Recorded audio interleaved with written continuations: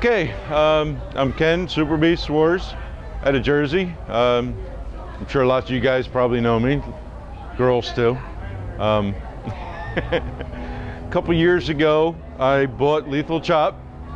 I saw it at the Lebanon Nationals in Pennsylvania and I believe it was 1992, and said someday I'm going to own that van.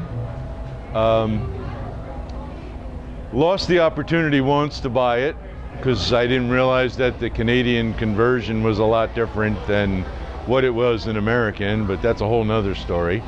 Um, a few years back, I started to build an early Dodge with the same kind of chop. Um, what makes the chop on this van unique is that the roof is whole. It hasn't been cut, it hasn't been sectioned. It's the complete whole entire factory roof. Everything else was pulled in after it was angled. Um, it's got about 14 inches out of the windshield, uh, which is basically half of what the factory windshield was. Uh, it's got the original 302 in it. It's got a little bit of work done to it, so it sounds good and it really likes the highways. Um, unfortunately, as you see my height, highways and driving doesn't last very long. My wife Debbie, she fits in it really well and she likes to drive it, but anything over two hours and you kind of get like you've had a couple bottles of tequila after that. So, but um, we we got lucky that when uh, we missed out on buying it the first time, that the gentleman that did buy it, he bought it from his neighbor who was the builder that actually had it chopped. Um, it was originally owned by two brothers.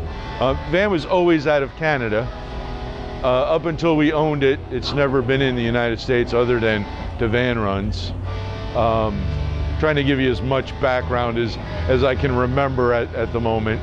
Um, it was originally a Sears Service Star van out of Canada. Um, the one brother customized it, did the running boards, the front end the way it is. Um, the fender flares was red. Uh, originally it was white with a Bob Seger theme. At one point it had some murals to that effect, which I'm still searching for some photos of that. Um, then the, the, the, oldest brother had it chopped. Um, and at one point, still not exactly sure when, it was labeled bad cut because apparently the roof didn't come out as good as it was supposed to. Uh, it still looked really cool to me, but you know, that's how it is. Um, then it was sold to a guy named Brent out of Canada, and he had the, the roof fixed, everything else fixed. He had the interior finished, had the pinstriping put on, and renamed it Lethal Chop. Um, as you can see by the license plate, I stuck with the original name. Um, we bought it to have some fun with, and that we have. We've already won some good awards with it. Um, other than that, I mean, you're looking at what it is. So it, it's hard to not love it. Um, we'll open her up and we'll show you the interior, a little bit of the engine. It's not hard to see, but, or it's a little hard to see, but there's some nice windows in the doghouse that makes it easier for everybody. So I'm gonna open the hood. There's not a whole lot to see. It's a mid Ford. There's not much under there. But I have already added some chrome.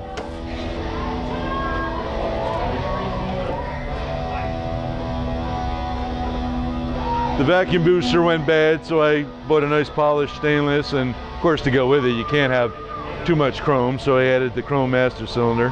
Unfortunately, I had to cut the original factory brake lines because the fittings wouldn't work, which I hated to do, but is what it is. Um, doesn't take much to keep your battery in place with that much, you know, clearance up there, so a little block of wood does just fine.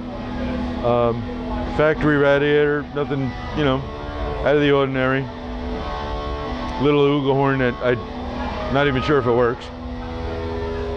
Um, the headlight assemblies, I believe, are from a Monte Carlo.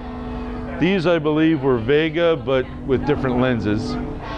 Um, it also has Chevy marker lights in it. I think at the during that era, I think think were popular.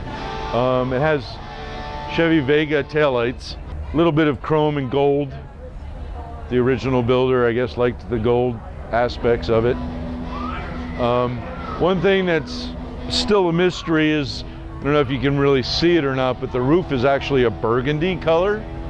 Um, and I still don't know why. I don't know if that was one of the colors or maybe when it was went from bad cut to lethal chop, the person that fixed it, that was the color they had. I don't know. Um, this is the door on the passenger side. Um, again, the windows in, in the engine compartment.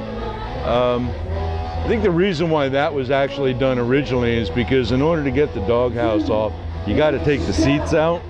The seats are actually bolted to the floor, so you know if you're under, I'd say six foot 10, six foot eight, you could probably drive this van without too much effort. Um, unfortunately, being six foot, it's your your vision is right at the top edge of the windshield, so you got to kind of duck down a little bit. Um, but again, having the floors, uh, the seats bolted right to the floor, um, surprisingly gives you pretty good vision if you're in that height, and also gives you actually plenty of leg room. Uh, I was actually kind of surprised.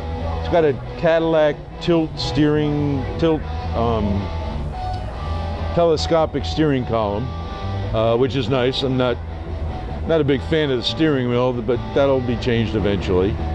Um, CB in it, you know, all the normal things from back in the day and a newer stereo in it. Okay, this is our midsection.